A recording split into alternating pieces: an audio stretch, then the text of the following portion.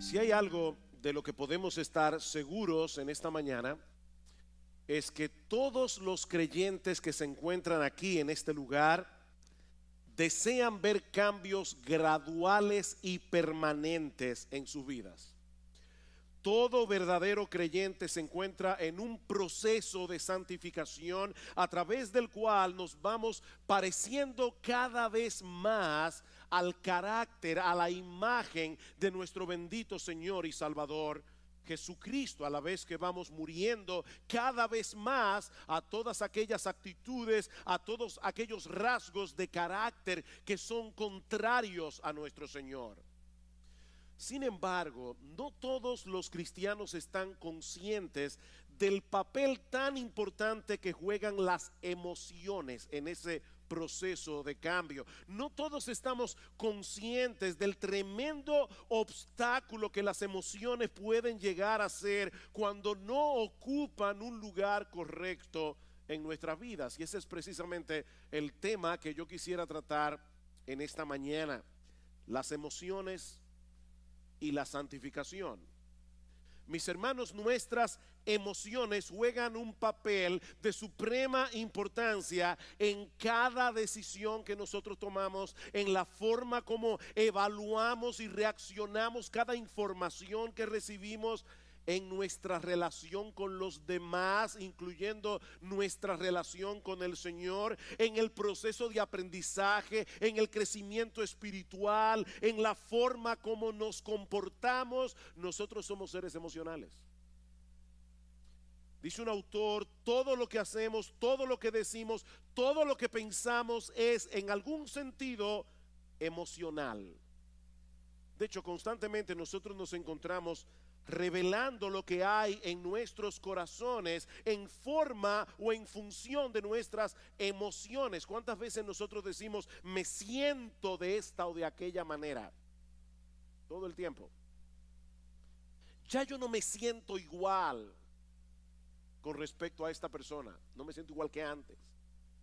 Somos seres emocionales. Eso es parte, mis hermanos, de lo que somos como fuimos creados a imagen y semejanza de Dios. Ahora, ¿cómo funcionan nuestras emociones? Ese, e, e, ese, aparato emocional que Dios colocó en nuestras almas, ¿cómo funciona? ¿Podemos nosotros ejercer algún tipo de control sobre nuestras emociones? ¿O somos más bien controlados por ellas? ¿Cómo debe ser la interacción entre nuestras emociones y nuestra razón? Si han visto ustedes seguramente muchas veces en esta situación de saber con la cabeza que tienen que hacer algo, pero en el corazón no tener el menor deseo de hacerlo. ¿Cuál de las dos facultades debe ir sentada en el asiento del conductor? ¿La razón o las emociones?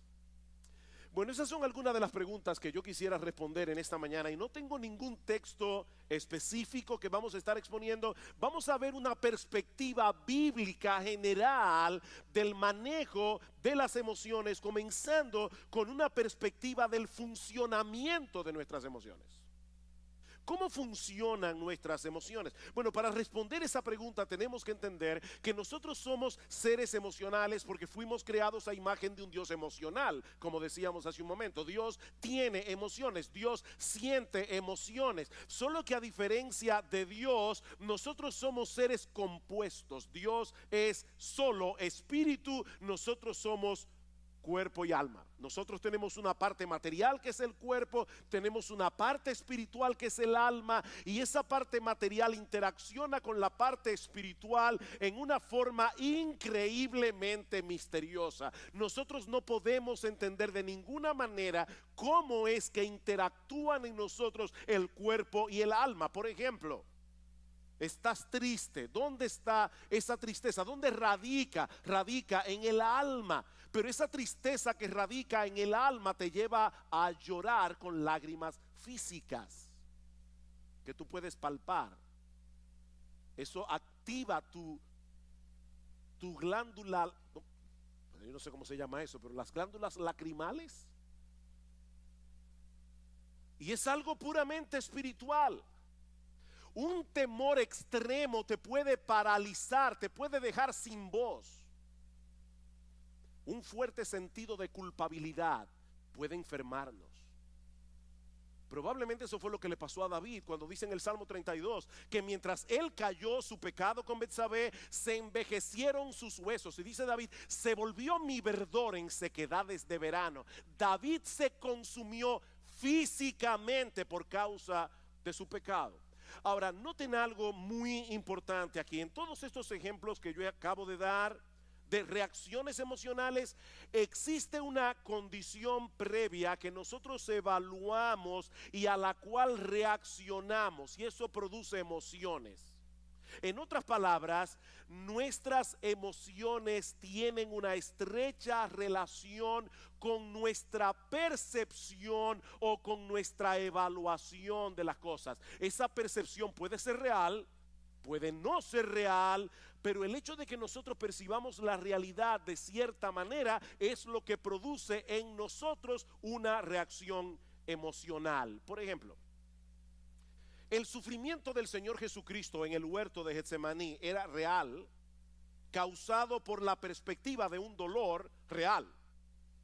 El Señor sabía que unas horas más tarde Él iba a estar colgado de una cruz e iba a recibir sobre sí todo el peso de la ira de Dios por causa de nuestros pecados. ¿Qué produjo eso en el Señor? Mi alma está muy triste hasta la muerte, dijo Cristo. La perspectiva de ese dolor que era real produjo en el Señor una reacción emocional. Ahora, puede darse el caso de una persona que experimenta una agonía real en su corazón ante la perspectiva de un problema irreal. La Biblia dice, no os afanéis por el día de mañana. ¿Cuántas personas están esperando un problema que nunca llega, pero lo sufren como si fuera real? Aquí tenemos una agonía real producida por una cosa irreal. De manera que las emociones, mis amados hermanos, no se producen en nosotros porque sí. Nuestras emociones no son meras reacciones químicas, como dicen algunos, sobre las cuales no tenemos ningún control. Nuestras emociones se producen como resultado de nuestra percepción o evaluación de las cosas. Por eso alguien ha dicho muy atinadamente que nuestras emociones revelan nuestras creencias y revelan nuestros valores. Nuestras emociones revelan nuestras creencias, revelan nuestros valores. Yo no tengo temor de perder aquello que a mis ojos tiene poco o ningún valor. Eso no me causa tristeza. Así que aquello que te causa una profunda tristeza es lo que revela dónde están tus valores. ¿Qué es lo que tú colocas por encima de lo demás? Yo no me airo por lo que no me importa. Las emociones siempre tienen un objeto en la mira que a nuestros ojos posee algún valor. Brian Borgman dice, por ejemplo, pensar en la ira no produce ira. Vamos a suponer que usted está en la universidad, están dando una clase sobre la ira. Eso no produce ira. Pero pensar en el aborto sí lo produce. ¿Se dan cuenta? Pensar en la ira no produce ira. Pensar en la injusticia del aborto sí produce ira o debería producir ira. Ahora, por supuesto, e-, eso no significa que antes de experimentar una emoción nos detenemos a evaluar conscientemente lo que está sucediendo a nuestro alrededor para luego reaccionar. Eso es algo que ocurre de manera instantánea. Por ejemplo, si en medio de la noche, a las 3 de la mañana, tú estás profundamente dormido, escuchas un ruido atronador en la sala de tu casa, lo más natural es que sientas temor inmediatamente, aunque tú no tengas ni idea de lo que produjo ese ruido. Ese temor se produce por la percepción de que puedes estar en peligro. No es necesario que el peligro sea real. Tal vez fue que se cayó una lámpara, el gato la tumbó. Puede ser que no haya un ladrón en la casa. El peligro no es real.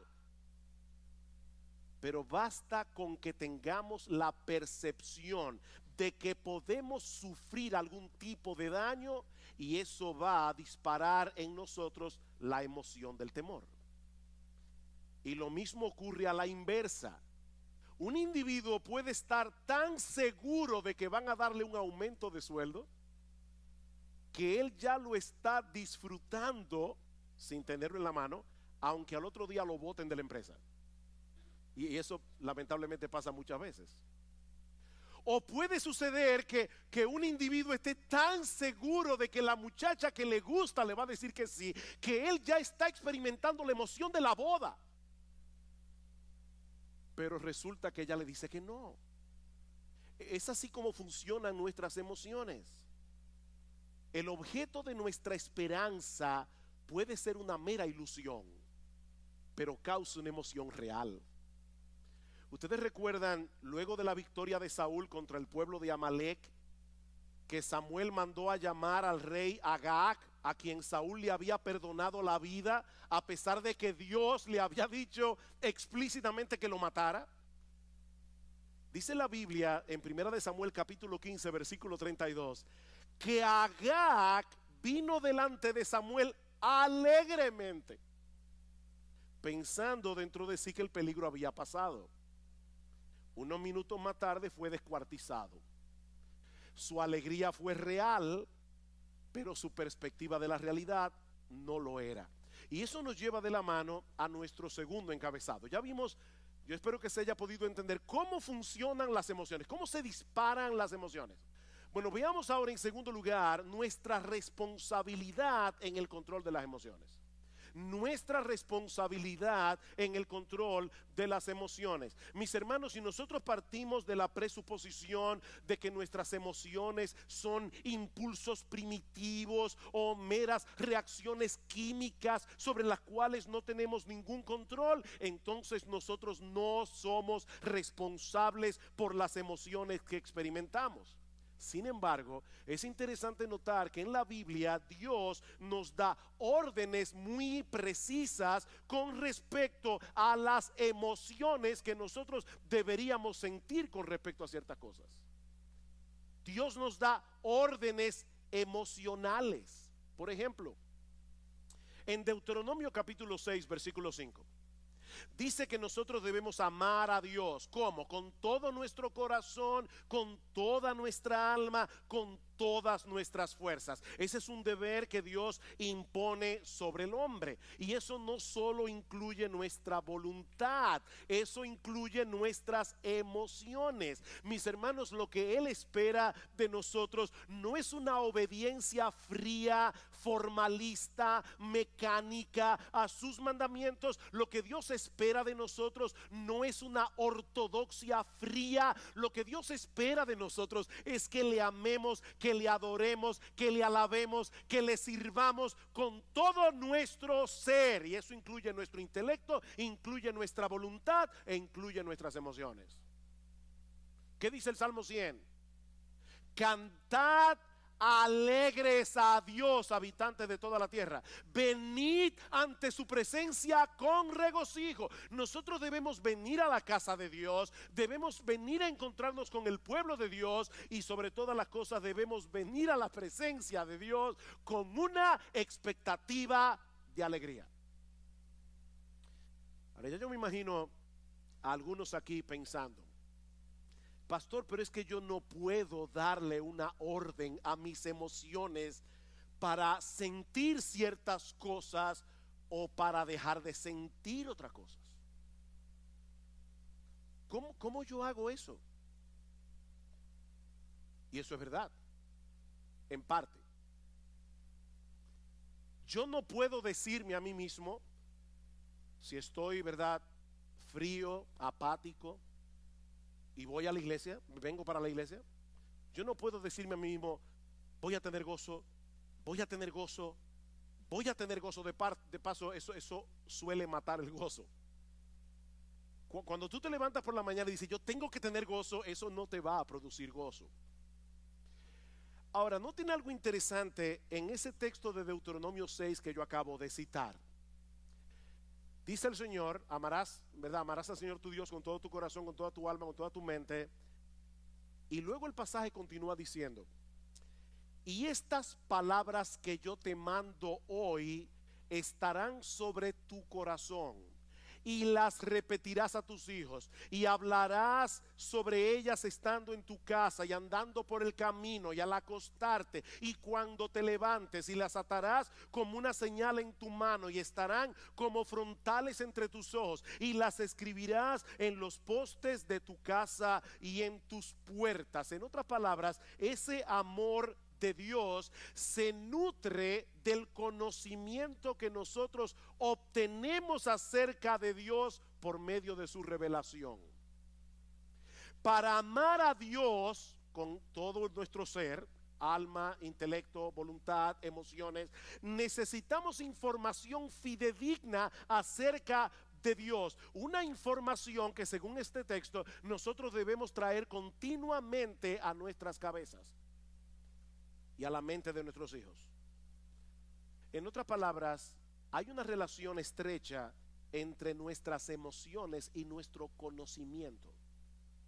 Hay una relación estrecha entre nuestras emociones y nuestro proceso de pensamiento.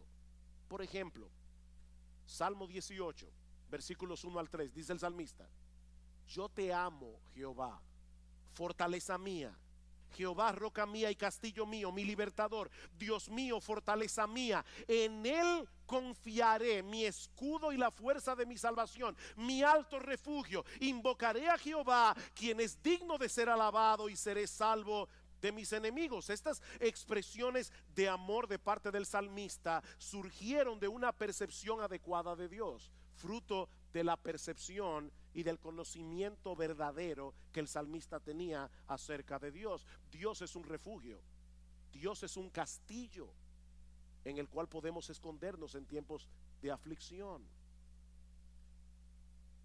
Y lo mismo podemos decir acerca del amor al prójimo.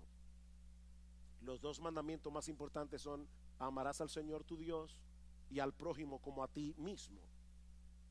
Y eso incluye emociones de compasión, eso incluye emociones de misericordia. Ahora, ¿cómo surgen esas emociones en nosotros? Escuchen este pasaje en Levítico 19:33. Cuando el extranjero morare con vosotros en vuestra tierra, no le oprimiréis. Como a un natural de vosotros tendréis al extranjero que mora entre vosotros y lo amarás como a ti mismo porque extranjero fuisteis vosotros en la tierra de Egipto. ¿Se dieron cuenta de esa conexión? Lo amarás como a ti mismo, porque extranjeros fuisteis vosotros en la tierra de Egipto. En otras palabras, la memoria de sus penurias, cuando ellos eran extraños, extranjeros y esclavos en Egipto, podía disponer sus corazones a experimentar misericordia y compasión por los extranjeros. El hecho de podernos conscientemente en el lugar del que sufre es una forma de cultivar algunas emociones que generalmente acompañan un amor genuino al prójimo. ¿Saben cuál es nuestro problema? Nosotros vivimos tan centrados en nuestro pequeño mundo, en nuestro pequeño reino, que no nos ponemos en el lugar de los demás y consecuentemente no sentimos las emociones que deberíamos sentir asociadas con el amor al prójimo somos demasiado egocéntricos. Así que hermanos, nosotros somos responsables por el cultivo de emociones piadosas. Somos responsables. En Romanos capítulo 12 el apóstol Pablo da una serie de mandatos. Y observen cómo cada uno de estos mandatos va conectado con nuestra vida emocional. El que preside debe hacerlo con solicitud. El que hace misericordia debe hacerlo como? Con alegría. Debemos aborrecer lo malo, debemos seguir lo bueno. Amaos los unos a los otros con amor fraternal. En lo que se requiere diligencia, no debemos ser perezosos, debemos ser fervientes en el espíritu, debemos ser gozosos en la esperanza, debemos ser sufridos en la tribulación. Emoción tras emoción tras emoción conectado con nuestros deberes. La vida cristiana que es digna de Dios y de su agrado, mis amados hermanos, incluye un sano despertar de nuestras emociones. Y eso me lleva ahora a mi tercer y último encabezado. Ya vimos cómo funcionan las emociones, ya vimos la responsabilidad que tenemos de controlar nuestras emociones. Veamos ahora el papel que juega la verdad en el control de nuestras emociones.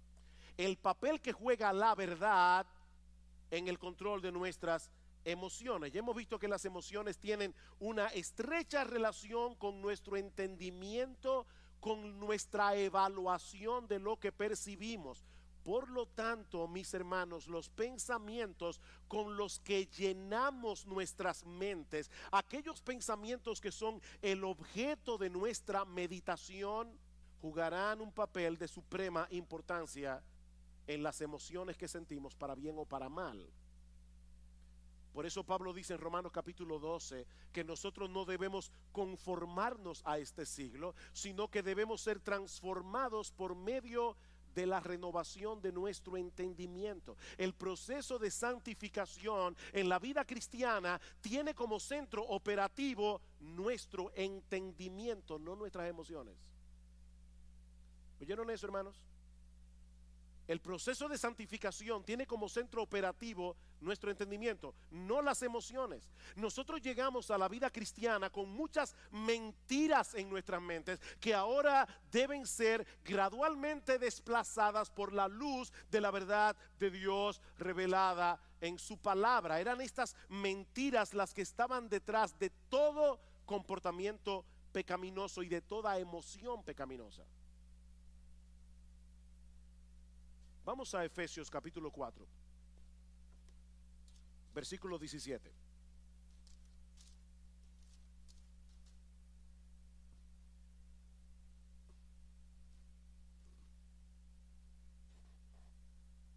Dice Pablo, versículo 17, esto pues digo y requiero en el Señor, que ya no andéis como los otros gentiles que andan en la vanidad de su mente, teniendo el entendimiento entenebrecido, ajenos de la vida de Dios, por la ignorancia que en ellos hay, por la dureza de su corazón. ¿Por qué los incrédulos viven como viven? Pablo dice, porque tienen una mente vana en lo que respecta a las cosas espirituales. Pueden ser personas sumamente inteligentes en todo lo demás, pero en lo que respecta a la vida de Dios son ignorantes ignoran la eternidad, ignoran la gloria de Dios, ignoran la majestad de Dios, ignoran la belleza de Dios. Y por esa razón van detrás de cosas vanas. Tim Chester dice, nosotros pecamos porque creemos la mentira de que estamos mejor sin Dios, de que sus reglas son opresivas, de que seremos libres sin Él, de que el pecado ofrece más que Dios. Es una forma equivocada de pensar que produce emociones equivocadas y un patrón de vida equivocado. Más adelante dice Chester, no mucha gente se ve a sí misma como alguien que cree mentiras. Pero cada vez que nosotros dejamos de confiar en la palabra de Dios, estamos creyendo en otra cosa, ¿no es así? Y esa otra cosa siempre es una mentira. La palabra de Dios es verdad. Todo lo que tú crees que es contrario a la palabra de Dios es una mentira. Y esa mentira va a producir en ti pecado. Y mis hermanos, esto es algo crucial. Recuerden que nuestras emociones dependen de nuestra percepción de la realidad. ¿Por qué nos deprimimos y nos amargamos ante las circunstancias adversas de la vida? ¿Por qué? Oh, pastor, pero eso es obvio. Si yo tengo un problema económico, me voy a deprimir porque tengo un problema económico. Si tengo un problema de salud, me voy a deprimir porque tengo un problema de salud. No, no. La razón por la que nos deprimimos y nos amargamos ante las circunstancias adversas de la vida es porque en el fondo de nuestros corazones nosotros no creemos que Dios esté en control. Es porque en el fondo de nuestros corazones nosotros no creemos que Dios nos ama. Nosotros no creemos que Dios está obrando a nuestro favor. ¿Se dan cuenta? Y no importa lo que tú digas con tu boca acerca de lo que tú dices creer. No, tu vida emocional revela qué es lo que tú realmente crees.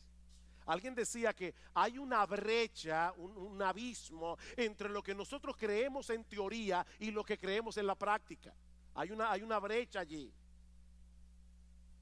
Déjenme ponerles un ejemplo.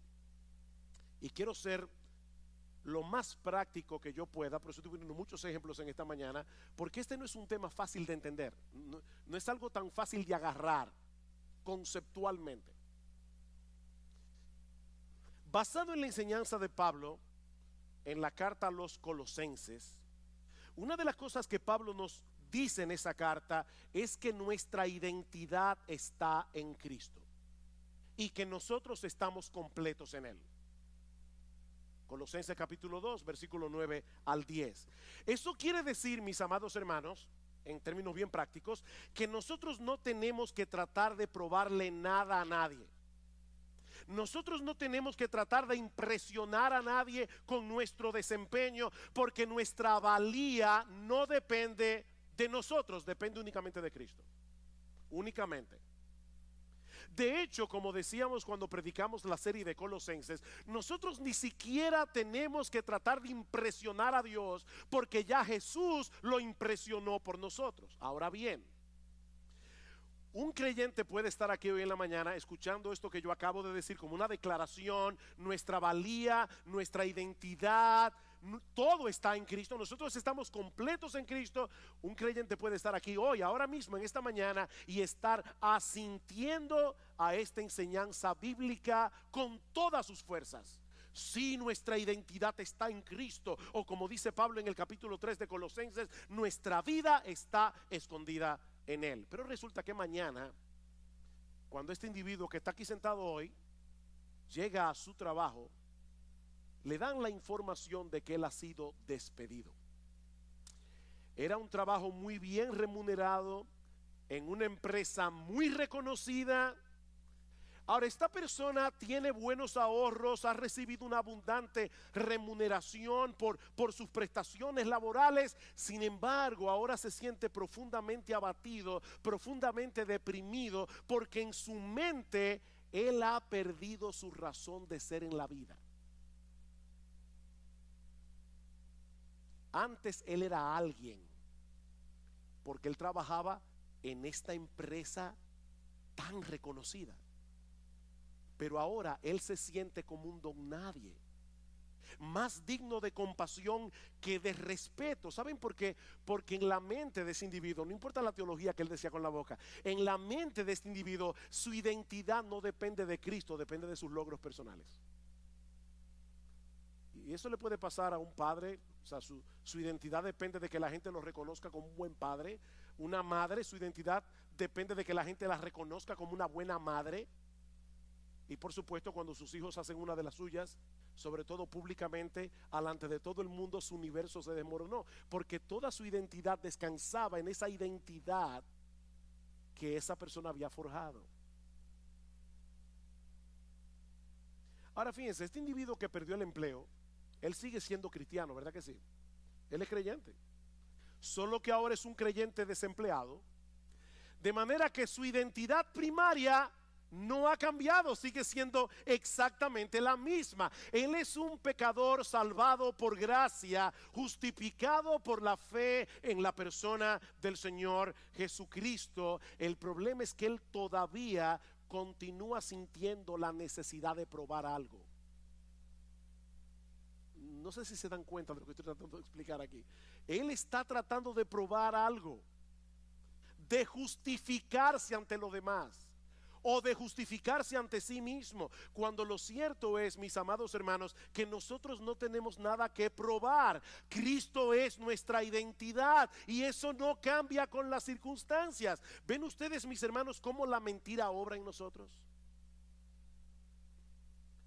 Así que si queremos ver cambios en nuestras vidas y llegar a ser emocionalmente estables, necesitamos que la verdad de Dios revelada en su palabra continúe desplazando las mentiras de nuestros corazones. Dice Tim Chester, la santificación consiste en hacer cada vez más pequeña la brecha que hay entre nuestra fe confesional y nuestra fe funcional. Nuestra fe confesional, lo que tú dices creer, tu teología, con lo que tú realmente crees en la práctica. Y más adelante, él añade, tratar de cambiar únicamente nuestra conducta no funciona, porque las mentiras que crearon esa conducta continúan allí todavía. Vamos al Salmo 119. Salmo 119. Ustedes conocen que este salmo tiene como tema central la palabra de Dios. Esto es un poema de amor a la palabra de Dios. ¿Qué dice el salmista en el Salmo 119? Versículo 25. Abatida hasta el polvo está mi alma. Vivifícame según tu palabra. ¿Qué puede sacarte de ese abatimiento? La verdad de la palabra de Dios. Versículo 28. Se deshace mi alma en ansiedad ¿Qué debo hacer? ¿Tomar un ansiolítico? No, susténtame según tu palabra. Versículo 49. Acuérdate de la palabra dada a tu siervo en la cual me has hecho esperar. Ella es mi consuelo en mi aflicción, porque tu dicho, lo que tú dices, Señor, que es la verdad verdadera, es lo que me ha vivificado. Versículo 92 si tu ley no hubiese sido mi delicia, ya en mi aflicción hubiera perecido. Nunca jamás me olvidaré, de, me olvidaré de tus mandamientos, porque con ellos me has vivificado, con la palabra de Dios. Versículo 111, por heredad he tomado tus testimonios para siempre, porque son el gozo de mi corazón. Mis hermanos, ¿qué es lo que el salmista está diciendo aquí? Que es la verdad de Dios revelada en su palabra la que nos hace libres. Es la verdad de Dios revelada en su palabra la que nos consuela. Es la verdad de Dios revelada en su palabra la que levanta nuestra alma batida. Es la verdad de Dios revelada en su palabra. Es el Evangelio, mis hermanos, lo que nos hace libres. Es la verdad revelada en la palabra de Dios la que debe ir sentada en el asiento del conductor de nuestras vidas, no las emociones.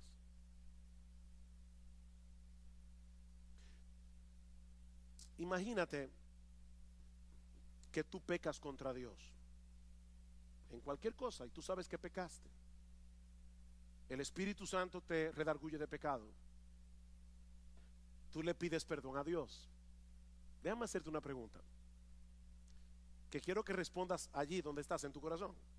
¿Cuántas veces tú has pecado contra Dios, le has pedido perdón por tus pecados y sigues sintiéndote culpable? ¿Cuántas veces?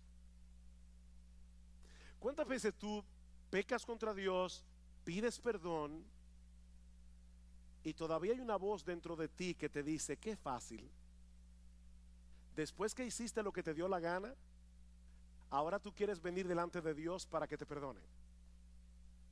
Aquí las emociones nos están traicionando. Porque la Biblia dice que si confesamos nuestros pecados, Él es fiel y justo para perdonar nuestros pecados y limpiarnos de toda maldad. ¿A quién tú le vas a creer? ¿A tu aparato emocional que te hace sentir no perdonado o a la promesa de Dios de que si confesamos nuestros pecados, Él es fiel y justo para perdonar nuestros pecados y limpiarnos de toda maldad. La palabra de Dios está por encima de nuestras emociones. Es que Dios ha dicho claramente que Él nos perdona cuando nosotros confesamos nuestros pecados. No debemos sentar las emociones en el asiento del conductor. Mis hermanos, si no nos mantenemos predicándonos a nosotros mismos estas verdades, no vamos a poder mantener un saludable control de nuestra vida emocional. Salmo 103, versículo 2. Estaba leyendo este salmo ayer Bendice alma mía a Jehová y bendiga todo mi ser su santo nombre. Bendice alma mía a Jehová y no olvides ninguno de sus beneficios. Él es quien perdona todas tus iniquidades. Él es el que sana todas tus dolencias. Él es el que perdona todas tus iniquidades. Pero lamentablemente muchos creyentes olvidan este aspecto fundamental de la vida cristiana. Como dice Sinclair Ferguson, nuestro problema es que pensamos con nuestros sentimientos, no con la cabeza. Nosotros pensamos con el corazón, pensamos con los sentimientos. Tiene que poner otro ejemplo. ¿Qué debe hacer un creyente que no siente gozo en Dios? ¿Alguna vez has venido a la iglesia y estás cantando y tú tienes el corazón como un témpano de hielo? Eso nunca te ha pasado. Te felicito. A mí me ha pasado. ¿Y saben qué lo, hablando en buen dominicano, lo que da más cuerda cuando uno está así? Tener un hermano al lado que está encendido en fuego. uno está aquí tratando de, de alabar a Dios, pero uno sabe que está con el corazón como un témpano de hielo. Y el hermano que está aquí al lado está, él está en el cielo. ¿Qué debe hacer un creyente en esa situación? Él debe, eh, eh, una de las cosas que él no debe hacer, una de las cosas que él no debe hacer es fingir una emoción que él no tiene. No hagas eso, eso es mentira. Pero una de las cosas que tú debes hacer es recordarte a ti mismo que Dios sigue siendo nuestro gozo y aceptarlo por fe. Aunque en ese momento no estés sintiendo nada, Dios sigue siendo nuestro gozo. Yo debo aceptarlo por fe. Tu gozo no va a retornar pensando en el gozo o deseando el gozo, sino enfocándote en las verdades acerca de Dios reveladas en su palabra. E-, es mirando a Dios, no al gozo. No persigas al gozo, persigue a Dios. ¿Cómo yo persigo a Dios? Enfocando mi mente en lo que Él me ha dicho que Él es en su palabra. Y yo voy a comenzar a recordar atributo tras atributo tras atributo de lo que Dios revela de sí mismo en su palabra hasta que mi corazón comience a arder otra vez. Y puede ser que eso no pase inmediatamente.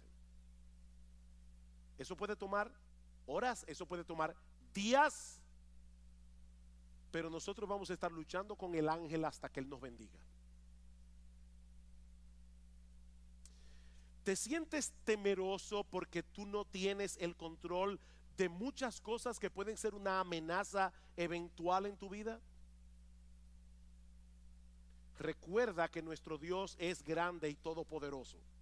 Todas las cosas que existen fueron creadas por Él. Y Él está en control de todas y cada una de ellas. Dice Mateo capítulo 10, versículo 29 al 31, que no se cae un pajarito del cielo sin que la voluntad de Dios así lo permita. ¿Saben lo que ocurre cuando no confiamos en el control soberano de Dios? Que entonces nosotros trataremos de asumir ese control en una forma pecaminosa. Ya sea tratando de dominar por la fuerza a los demás o de manipularlos. La manipulación no es más que un intento de tomarle a Dios el control. Yo quiero controlar a las personas a mi alrededor. Otro ejemplo.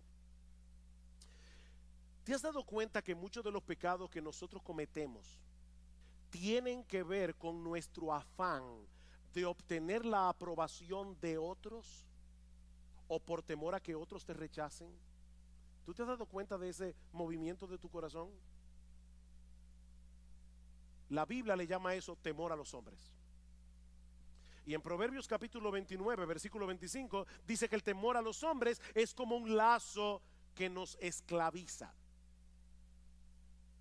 Ese es un problema muy común que se manifiesta de muchas maneras. Por ejemplo, susceptibilidad a la presión de grupo. Necesitar que las personas me den algo, cariño, respeto, admiración, preocupación por nuestra autoestima, llenarte de compromisos porque no sabes decir que no. Eso es temor a los hombres pequeñas mentiras para lucir bien delante de los otros? ¿Compararte con otras personas? ¿Sentir temor de compartir el Evangelio? Eso es temor a los hombres. ¿Cómo podemos lidiar adecuadamente con el temor a los hombres? Bueno, la psicología humanista nos aconseja aumentar nuestra autoestima y lamentablemente muchos creyentes han caído en esa trampa. Pero eso no resuelve el problema, sino que lo complica. Porque en realidad la baja autoestima no es otra cosa que una elevada autoestima disfrazada. ¿Tú oíste eso? La baja autoestima es una elevada autoestima disfrazada. Déjeme explicar eso porque sé que veo la cara de algunos mirándome así como con una cara de signo de interrogación. Una persona puede ser muy tímida, le da temor abrir la boca y algunos dicen es que el pobre tiene una baja autoestima. No, no, no, no. La razón por la que él o ella es tímido es porque se estima tanto que él tiene miedo de abrir la boca y confirmar ante los demás que es un tonto. E, es mejor callarse y dejar que las personas sospechen que tú eres un tonto, abrir la boca y confirmar que lo eres. Entonces la razón por la que mucha gente es tímida es porque no quiere descubrirse delante de los demás porque se estima demasiado a sí misma. Si no se estimara tanto, no tuviera temor de los demás. En el fondo, nuestro problema con todas esas cosas que yo he mencionado es que estamos creyendo que no tenemos el estatus que creemos merecer. Alguien dice, nosotros elevamos deseos que a menudo son buenos en sí mismos, el deseo de ser amado, el deseo de afirmación, el deseo de respeto. Elevamos eso al nivel de necesidades sin las cuales pensamos que no podemos tener una vida equilibrada. Hablamos de necesitar la aprobación y la aceptación de otros cuando nuestra verdadera necesidad es glorificar a Dios y amar a las personas. Esa es tu verdadera necesidad, glorificar a Dios, no que la gente viva para ti. ¿Cuál es el remedio para el temor a los hombres?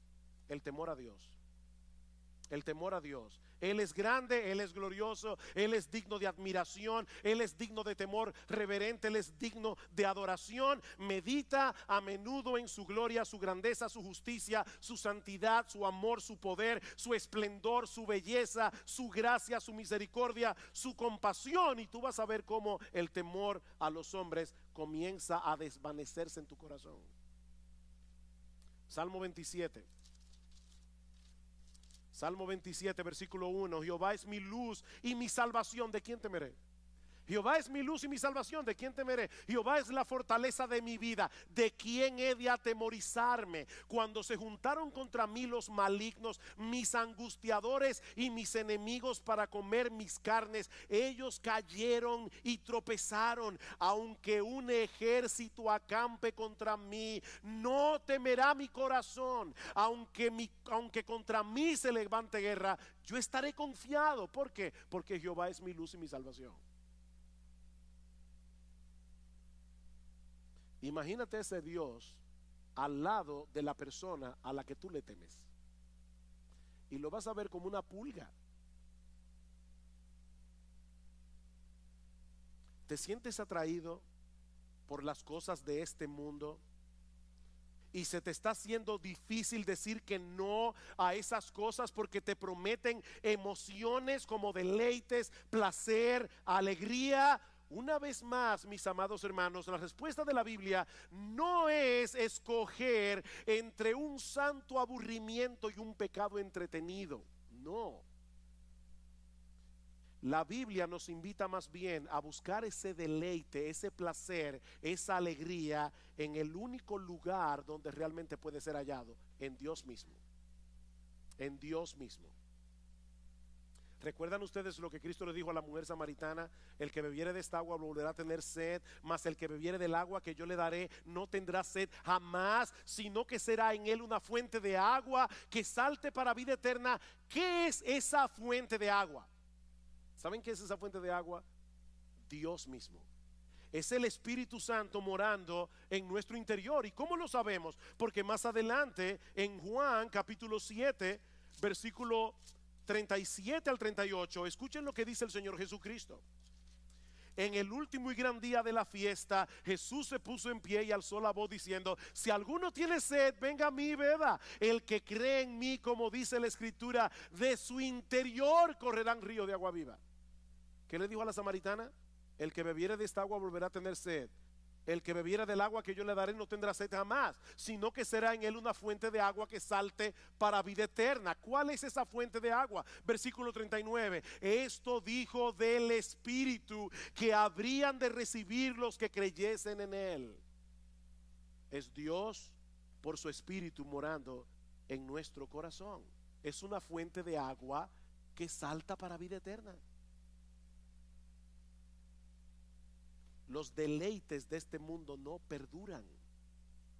Nosotros fuimos creados para disfrutar de un deleite más profundo y perdurable, el deleite de conocer a Dios y de tener comunión con Él. Alguien decía que cada vez que nosotros pecamos es porque pensamos que el placer del pecado es real y que el gozo en Dios es insustancial o distante. Pero lo cierto es, oigan esto hermano porque es importante, es exactamente al revés. Cada gozo que experimentamos en esta vida es una sombra de la fuente de todo gozo que Dios mismo. Cada gozo que tú experimentas es una sombra del verdadero gozo que se encuentra en Dios. Y mis hermanos, yo podría continuar en esta mañana multiplicando los ejemplos, pero el tiempo se ha ido. Todos llegarían al mismo punto. Dios nos creó a su imagen y semejanza. Eso incluye nuestra facultad de experimentar emociones. Nuestra vida emocional fue diseñada originalmente para girar en torno a la persona de Dios y nadie más podemos disfrutar de un montón de cosas creadas por Él para nuestro deleite, pero si, sustituimos a Dios por esas cosas, ya hemos caído en el pecado de la idolatría. Y la idolatría es blasfema, es dañina y es destructiva. Dice el Salmos 16:4, se multiplicarán los dolores de aquellos que sirven diligentemente a otro Dios. Si queremos tener una vida emocional estable y seguir avanzando en nuestra santificación progresiva, lo que necesitamos no es terapia psicológica, lo que necesitamos es llevar cautivo todo pensamiento a la obediencia a Cristo. Llenar nuestras mentes con la palabra de Dios y creer ciertamente lo que dice la palabra de Dios.